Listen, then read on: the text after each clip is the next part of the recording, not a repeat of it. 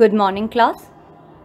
This is our pathology class in which we will study about the second chapter of our clinical pathology that is bone marrow examination. मैंने आपको बताया था भाई आठ chapters आपके clinical patho के अंदर आते हैं जिसमें सबसे पहला चैप्टर हमने C S F examination complete अपना कर लिया है। दूसरा चैप्टर जो है वो बोन मैरो एग्ज़ामिनेशन हम आज अभी इस समय पढ़ने वाले हैं। तो देखिए, सबसे पहले बोन मैरो क्या है? देखिए हिमेटोपॉइसिस एक प्रोसेस होता है हमारी बॉडी के अंदर। जिसमें हमारी प्रोजिनेटर सेल्स नई नई बन रही होती हैं, फिर डिफ्रेंशिएट होती है मेच्योर सेल्स में हमारे बॉडी की पेरीफ्राई के अंदर जा कर के। प्रोजिनेटर सेल्स बनती हैं और वो पेरीफ्राई में जा कर के मेच्योर सेल्स में डिफ्रेंशिएट हो जाते हैं। प्रोजिनेटर सेल्स इनिशियल सेल्स होती है और मेच्योर सेल्स जो हमें पता चलती हैं कौन सी सेल्स हैं। इस प्रोसेस को अपन हिमेटोपॉइसिस कहते हैं। नॉर्मल कंडीशंस में ये सभी सेलुलर कंपोनेंट्स जो हैं, वो हमारे बोन मैरो के अंदर ही ओरिजिनेट होते हैं और वहीं इनका डेवलपमेंट कंप्लीट होता है। जब हम फीटल स्टेज में होते हैं तो ये हिमेटोपॉइसिस हमारे यॉक सेक में स्टार्ट होता है। यॉक सेक से माइग्रेट करता हुआ हमारे फीटल लीवर में जाता है। लीवर से स्प्लीन में स्प्लीन से फाइनली ये बोन मैरो के अंदर जाता है। यानी प्रोसेस हमारे बोन मैरो के अंदर ये हिमेटोपॉइसिस का चलता रहता है। चल, सबसे पहले हिमेटोपाइसिस कहाँ चलेगा? यॉक्सैक में। यॉक्सैक के बाद लीवर में। लीवर के बाद स्प्लीन में। स्प्लीन के बाद फाइनली बोन मैरो में जा कर के ये चलना स्टार्ट हो जाता है। अब बोन मैरो अब पूरी ज़िंदगी, जब बोन मैरो में एक बार चला गया तो अब पूरी ज़िंदगी बोन मैरो ही उस हिमेटोपॉइसिस की एक्टिव साइट हो जाती है। और कब से हमारे फिफ्थ मंथ ऑफ़ गेस्टेशन से ये हिमेटोपॉइसिस बोन मैरो में होने लग जाता है? और सारी ज़िंदगी ये ब्लड सेल का फॉर्मेशन का मेजर साइट बन के हमारी बॉडी में रहता है, ये बोन मैरो जन्म के समय जितनी भी बोन मैरो कैविटीज़ होती हैं, उनके अंदर हिमेटोपाइटिक एलिमेंट्स पाए जाते हैं। पर जैसे जैसे हमारी एज एडवांस होती है, ये मैरो रिप्लेस हो जाता है पेरिफेरल लॉन्ग बोन से लेकर एक्सियल स्केलेटन तक, जैसे वाटरबरी स्टर्नम इलियक बोन्स और proximal end of long bones के अंदर ये चल रहा होता है। अब ये जो बोन मैरो हम बोल रहे हैं बोन मैरो क्या है? ये एक soft organic sponge like material होता है मेड्यूलर कैविटी के अंदर। और ये मेड्यूलर कैविटी हमारी लॉन्ग बोन्स में पाई जाती हैं, कुछ हेवर्जियन कैनाल्स में पाई जाती हैं, या जो ट्रेबिक्यूली है कैंसिलस बोन की, उनके बीच में जो स्पेसेस है, उनमें ये मेड्यूलरी कैविटी पाई जाती है और मेड्यूलरी कैविटी के अंदर soft organic sponge like material पाया जाता है, जिसको अपन बोन मैरो कहते हैं। ये बोन मैरो जो है, दो तरह से ये बोन मैरो हमारे अंदर या दो कलर का या दो फॉर्म का बोन मैरो हमारे अंदर होता है। One first one is red marrow second one is yellow marrow और इसका चीफ ये जो बोन मैरो इसका चीफ फ़ंक्शन होता है कि इराइथ्रोसाइट्स ल्यूकोसाइड्स और प्लेटलेट्स या आप कहिए सीधा ब्लड सेल्स का प्रोडक्शन करना ही बोन मैरो का चीफ फ़ंक्शन होता है। पर इसमें से जो रस्टी रेड मैरो है, वो ब्लड सेल्स को केवल वही ब्लड सेल्स को प्रोड्यूस करता है, ना कि येलो मैरो क्योंकि हमने कहा ना बोन मैरो दो तरह के हैं रेड और येलो तो केवल रेड रस्टी मैरो ही ब्लड सेल्स को प्रोड्यूस करता है। येलो मैरो जो है, वो कनेक्टिव टिश्यू और फैट सेल्स बनाता है और इनएक्टिव होता है, हमारे कोई खास काम नहीं आता। बचपन में जो है बोन मैरो प्राइमरली तो रेड मैरो ही होता है, पर एडल्ट स्टेज तक जाते जाते हमारे अंदर केवल 50 परसेंट ही रेड मैरो रह जाता है। रिमेनिंग 50 परसेंट तो हमारे अंदर येलो मैरो होता है। ठीक है? तो ये बोन मैरो के बारे में मैंने आपको इंट्रोडक्शन बता दिया है। इसके बाद हम और देखें थोड़ा सा। तो ग्रॉस एग्जामिनेशन अगर अपन इस मैरो का करना चाहें तो मैंने बोला कि भाई दो तरह का मैरो था रेड मैरो जिसके अंदर एक्टिव हेटोपार्टिक एलिमेंट्स पाया जाता है, जो रेड सेल को बनाता है, और येलो मैरो जो है वो फैट सेल्स का बना होता है। बर्थ के समय मैरो मैंने कहा मेनली रेड नेचर का ही होता है एज एडवांस होने के साथ साथ या 18 साल की उम्र के बाद तो 50 परसेंट रेड मैरो येलो में कन्वर्ट हो जाता है। अब अगर हमारे को बोन मैरो एग्जामिनेशन करना है तो हम कैसे कर सकते हैं? एस्पायरेशन या बायोप्सी के द्वारा। ये दो टेक्निक्स है जिससे हम बोन मैरो को एग्जामिन करते हैं। थो, अगर हमें थॉरो इवेलुएशन करना है बोन मैरो का तो इन दोनों से करना सही रहेगा कि दोनों एग्जामिनेशन हम करें, अगर हमें अच्छे से बोन मैरो की स्टडी करनी है तो। अब बोन मैरो स्टडी हमें कब करनी होती है, क्यों करनी होती है? तो ये सात कंडीशंस दी हुई होती हैं। अगर हमारे को पेरिफेरल ब्लड में सेल्स का नंबर चेक करना है कि कहीं कम या ज़्यादा तो नहीं हो गया तो हम बोन मैरो स्टडी करते हैं। ल्यूकीमिया को देखने के लिए मैरो में आयरन कंटेंट को इवेलुएट करने के लिए ट्यूमर को देखने के लिए इन्फेक्शन को कन्फर्म करने के लिए कुछ पर्टिकुलर डिज़ीज़ स्टोरेज डिसऑर्डर्स के लिए और इम्यूनोलॉजिकल डिसऑर्डर्स को इन्वेस्टिगेट करने के लिए हम बोन मैरो स्टडी करते हैं।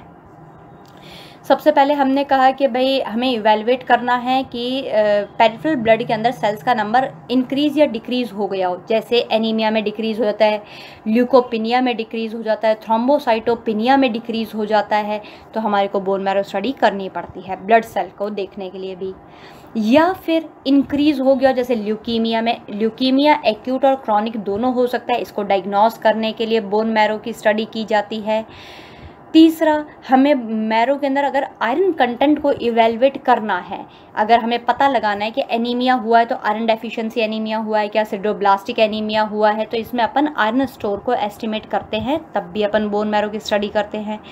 नेक्स्ट अगर ट्यूमर इन्वॉल्वमेंट को डायग्नोस करना हो तो बोन मैरो में या फिर ट्यूमर की स्टेजेस, जैसे लिम्फोमा की स्टेजेस आपको देखनी है, स्मॉल सेल कार्सिनोमा के लिए अपन मैरो एग्जामिनेशन करते हैं, या मैरो में कोई ट्यूमर इन्फिल्ट्रेट होकर पहुँच गया हो तो वो भी देखने के लिए अपन मैरो एग्जामिनेशन करते हैं। इसके अलावा इन्फेक्शन को कन्फर्म करने के लिए, जैसे डिसमिनेटेड ट्यूबरक्यूलोसिस अगर किसी को हो गया हो, फैल गया और मैरो में चला गया हो क्योंकि ऐसे तो टीबी तो जो है वो लंग्स का डिसऑर्डर है, पर इसकी सबसे क्रॉनिक कंडीशन होती है जब टीबी हमारे वर्टिबल कॉलम में चला जाता है। तो बोन मैरो एग्जामिनेशन से अपन उसको पता करते हैं। इसके अलावा किसी को केशियस ग्रेन्यूलोमा हो गया हो टीबी में ये देखा जाता है ये, या इंट्रासेल्युलर ऑर्गेनिज्म जैसे लिश्मानिया डोनोवोनी काला अजर में ये ऑर्गेनिज्म दिखाई देता है। तो इस इन्फेक्शन को कंफर्म करने के लिए भी अपन मैरो एग्जामिनेशन करते हैं। कुछ लोगों में स्टोरेज डिसऑर्डर्स हो जाते हैं तो उसको डायग्नोस करने के लिए जैसे गाउचर्स डिज़ीज़ नाइमन या Pick disease Niemann Pick disease हो जाती है तो उसके लिए भी हम बोन मैरो स्टडी करते हैं। या फिर लास्ट किसी को इम्यूनोलॉजिकल डिसऑर्डर हो गया हो, जैसे मोनोक्लोनल गैमो पैथीज हो गई हो लाइक मल्टीपल माइलोमा नाम की बीमारी हो जाती है, तब भी हम बोन मैरो एग्जामिनेशन करते हैं। तो ये सात वो कंडीशंस हैं जो बोन मैरो एग्जामिनेशन के लिए यूज़ ली जाती है इन कंडीशन में बोन मेरो एग्जामिनेशन करते हैं। अब मैंने कहा है कि भाई बोन मेरो एग्जामिनेशन जो है, हम लोग दो तरीके से कर सकते हैं। एक तो बायोप्सी के थ्रू और एक एस्पायरेशन के थ्रू सबसे कॉमनली हम एस्पायरेशन से करते हैं। कॉमन जो मेथड का मिलते हैं वो एस्पायरेशन तो फिर बायोप्सी मैंने कहा अनकॉमन है तो फिर कौन सी कंडीशंस हैं जो बोन मैरो बायोप्सी को इंडिकेट करती है?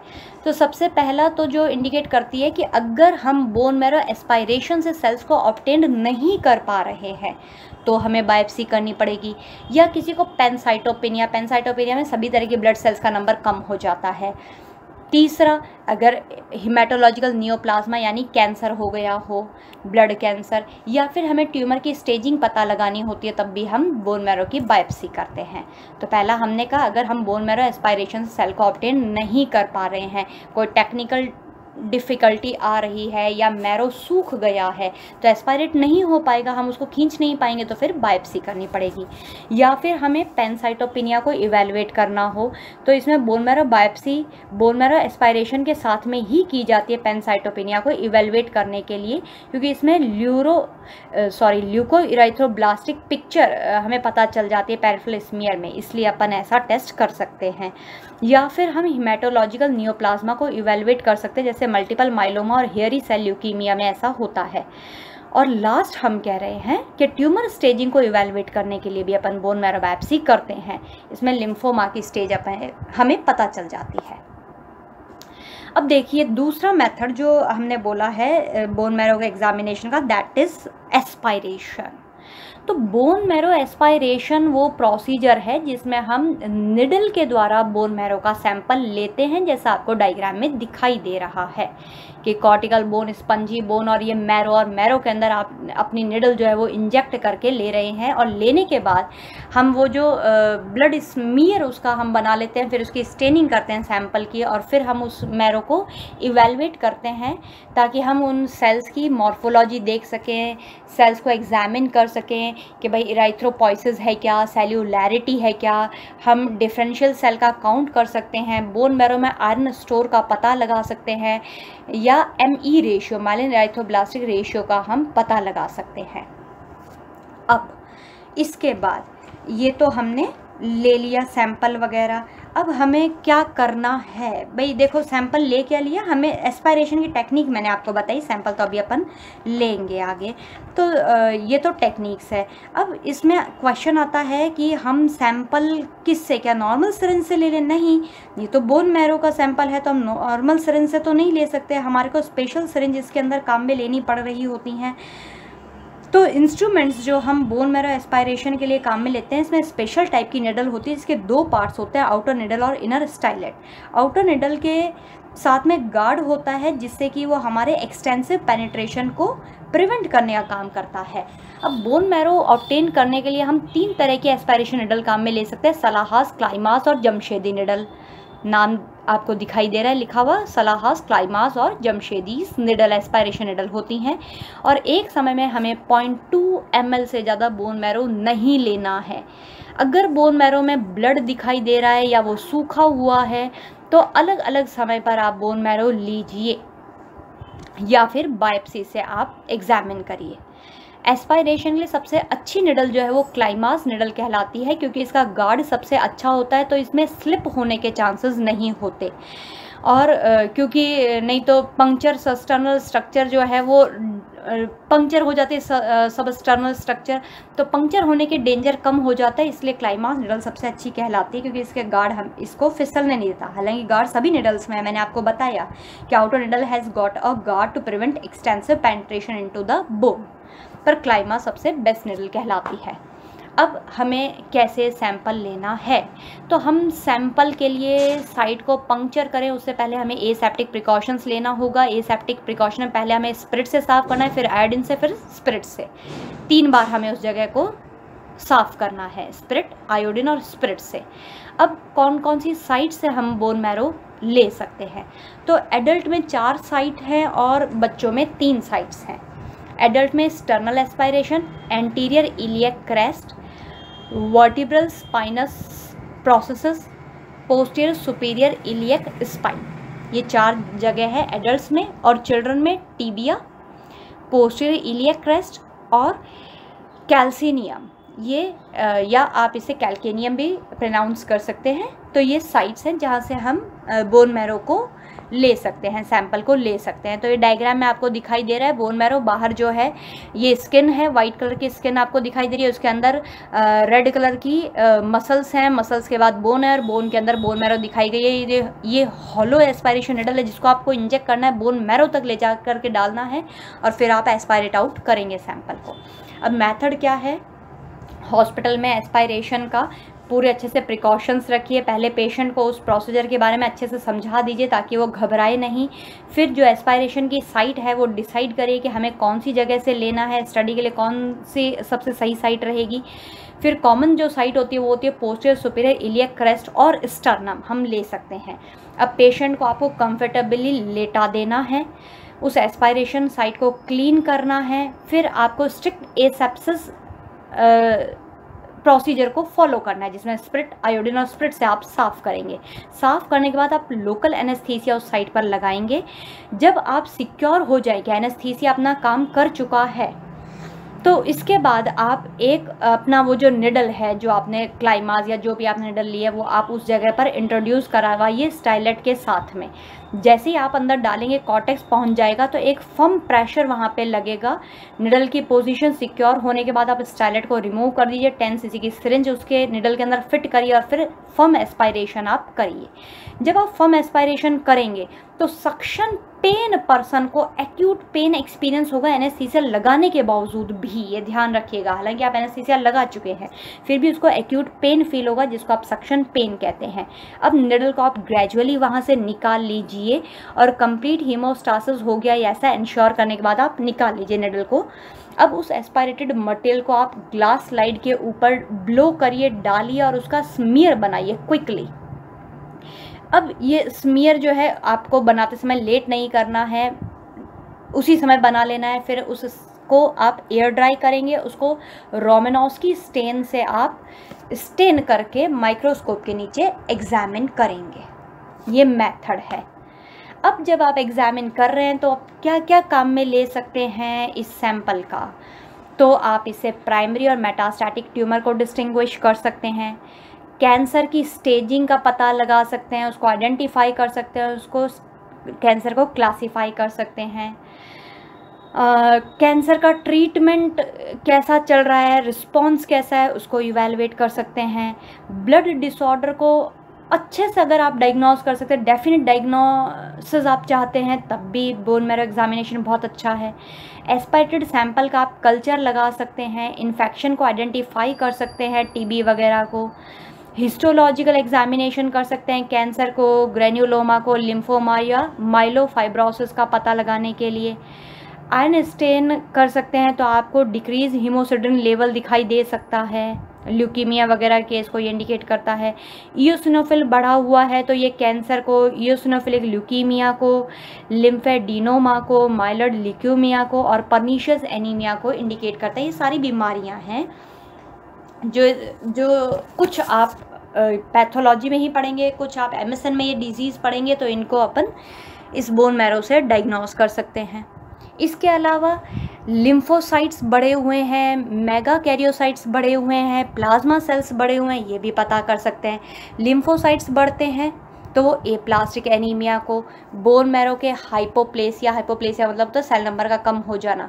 आ, ये इसको इंडिकेट करता है इन्फेक्शस लिम्फोसाइटोसिस को इंडिकेट करता है मोनोन्यूक्लियोसिस को लिम्फेटिक ल्यूकेमॉइड रिएक्शन को लिम्फोसिटिक ल्यूकीमिया को इंडिकेट करता है लिम्फोमा को इंडिकेट करता है and there are so many other things like viral infections which indicate the increase lymphocytes इसके अलावा अगर आपको इंक्रीज मेगा कैरियोसाइट्स दिखाई दे रही हैं, इसका मतलब एक्यूट हैमरेज हुआ है उम्र बढ़ने के साथ भी ऐसा हो सकता है। क्रॉनिक माइलॉड ल्यूकीमिया में भी ऐसा हो जा हो सकता है।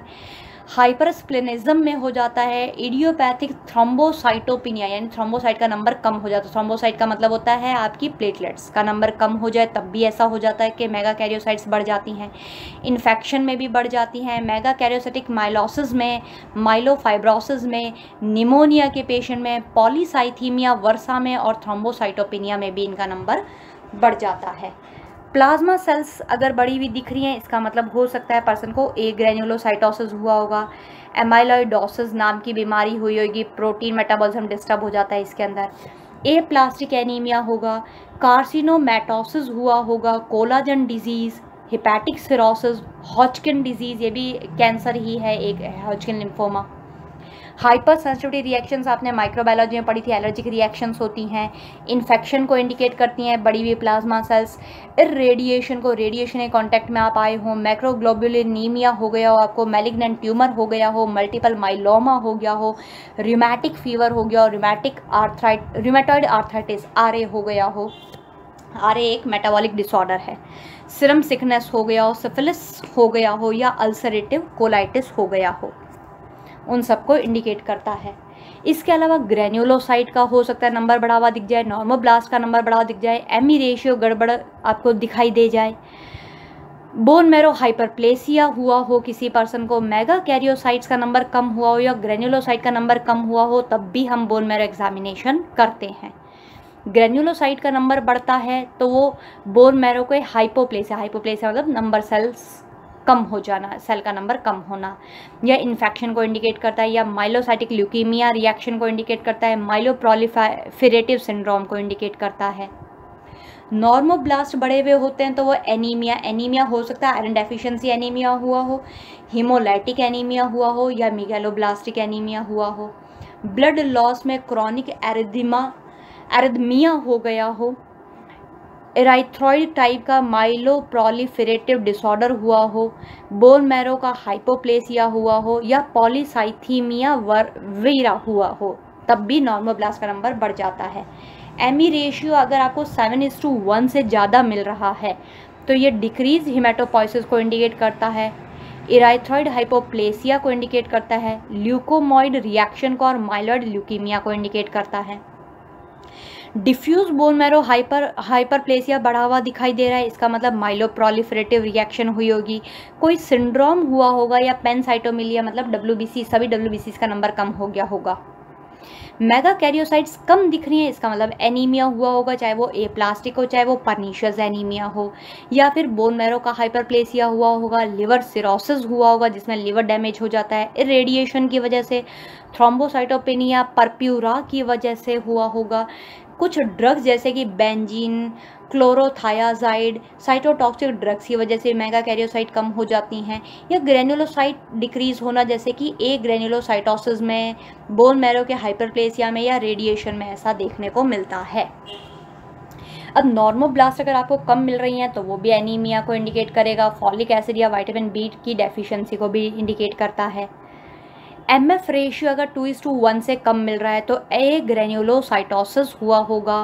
एनीमिया में आयरन डेफिशिएंसी एनीमिया हुआ हो normoblastic anaemia pernicious anaemia post haemolytic या पोस्ट हीमोलाइटिक एनीमिया हुआ हो पोस्ट हेमरेजिक कंडीशन को भी हेमरेज के बाद भी ऐसा हो जाता है कि एम एफ़ रेशियो बिगड़ जाए। थायराइड एक्टिविटी जिनमें बढ़ जाती है हिपैटिक माइलर फॉर्मेशन कम हुआ होता है पॉलीसाइथीमिया हुआ होता है। पॉलीसाइथीमिया में सेल का आरबीसी का नंबर एक्चुअली बढ़ जाता है। पॉलीसाइथीमिया होता है आरबीसी का बढ़ जाना। जैसे एनीमिया कम हो जाना पॉलीसाइथीमिया बढ़ जाना। या स्टीटोरिया हो गया हुआ, हो, तब भी ऐसा हो जाता है।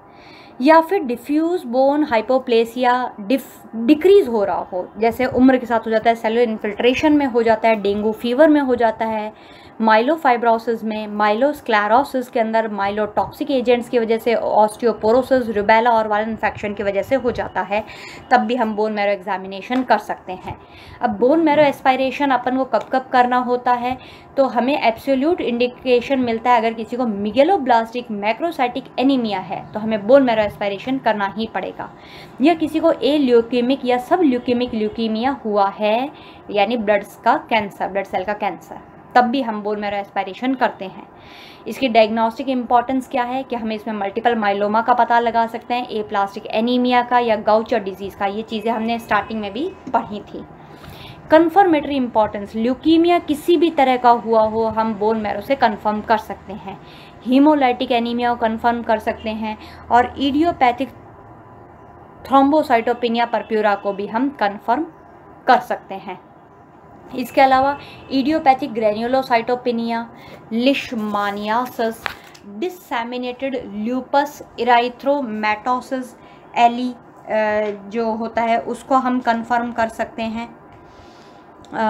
इसके अलावा मेटास्टैटिक डिज़ीज़ मतलब कैंसर किसी को हुआ, जो फैल रहा हो माइलोप्रोलिफरेटिव डिसऑर्डर हुआ sideroblastic anaemia iron deficiency anaemia lymphoma और उसकी स्टेजेस का हम पता लगा सकते हैं, या बोन मैरो अगर हमारे को एक पर्सन से दूसरे पर्सन में ट्रांसप्लांट करनी है, तब भी हम पहले बोन मैरो एग्जामिनेशन करते हैं। ठीक है? इसके साथ आपका ये बोन मैरो नाम का चैप्टर कंप्लीट हो गया है। तो हमने अभी तक में दो चैप्टर अपने कंप्लीट कर लिए सी एस एफ़ एग्ज़ामिनेशन और बोन मैरो एग्ज़ामिनेशन इसके बाद रिमेनिंग सिक्स चैप्टर्स आपके क्लिनिकल पैथोलॉजी के बसते हैं, जो हम अपनी नेक्स्ट क्लास के अंदर पढ़ेंगे। आपको